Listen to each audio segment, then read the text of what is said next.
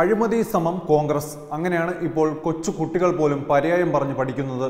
To G സ്പെക്ട്രവും കൽക്കരി കുംഭകോണവും ബോഫേഴ്സും Agusta വെസ്റ്റ്ലാൻഡും national ഹെറാൾഡുമെല്ലാം കോൺഗ്രസ്സുകാരുടെ അഴിമതി വീരതയുടെ ബാക്കി പത്രത്തിൽ ചിലത് മാത്രം. ആ അഴിമതി പേര് കോൺഗ്രസ് പാർട്ടി ആഘോഷിക്കുന്നതിന്റെ ഉത്തമ ഉദാഹരണമാണ് ഐഎൻഎക്സ് മീഡിയ അഴിമതി കേസിൽ ജാമ്യം ലഭിച്ച മുൻ ധനമന്ത്രി പി ചിദംബരം പുറത്തിറങ്ങിയപ്പോൾ നടത്തിയ പാർട്ടിയുടെ പ്രതികരണം.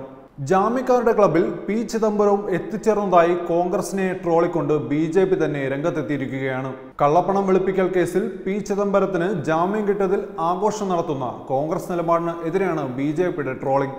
ബി ജെ പി ദേശീയ വക്താവ് സാംബിത് പാത്രയാണ് പ്രതിപക്ഷ പാർട്ടിക്കെതിരെ വിമർശനം ഉന്നയിച്ച് ആദ്യം രംഗത്ത് വന്നത്. കോൺഗ്രസ് നേതാക്കളായ സോണിയാഗാന്ധി രാഹുൽ ഗാന്ധി എന്നിവരുടെ പേരുകളും പാത്ര തന്റെ ട്വീറ്റിൽ പരാമർശിച്ചു.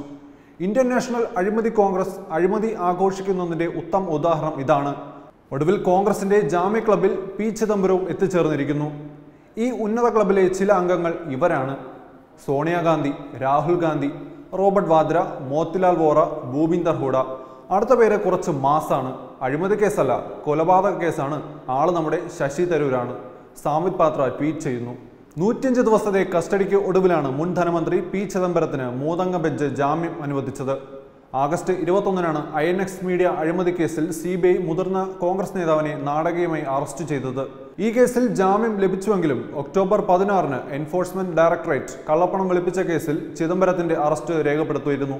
ഈ കേസിലാണ് ഇപ്പോൾ സുപ്രീം കോടതി ചിദംബരത്തിന് ജാമ്യം അനുവദിച്ചത്. എന്നാൽ ഉപാധിയോടെയാണ് ജാമ്യം.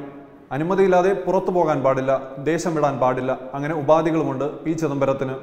ഇതോടെ നൂറ് ദിവസത്തിന് മുകളിൽ തീഹാർ ജയിലിൽ കഴിഞ്ഞ ശേഷം കോൺഗ്രസ് നേതാവ് പുറത്തു വരും. മുതിർന്ന കോൺഗ്രസ് നേതാക്കൾ ജയിലിലെത്തി ചിദംബരത്തിന് പിന്തുണ അറിയിച്ചിരുന്നു. അങ്ങനെ അഴിമതി എന്ന തങ്ങളുടെ ജന്മഗുണം ഏതു വിധേനയും സംരക്ഷിക്കുക എന്നത് കോൺഗ്രസ്സുകാരുടെ ജീവിത ലക്ഷ്യമാണ്. അതിനുവേണ്ടി പല്ലും നഖവും ഉപയോഗിച്ച് അവർ പോരാടിയിരിക്കും. അതിന് പ്രചോദനം നൽകുന്നതാകട്ടെ കൺകണ്ട ദൈവങ്ങളായ സോണിയയും രാഹുലുമാണ്.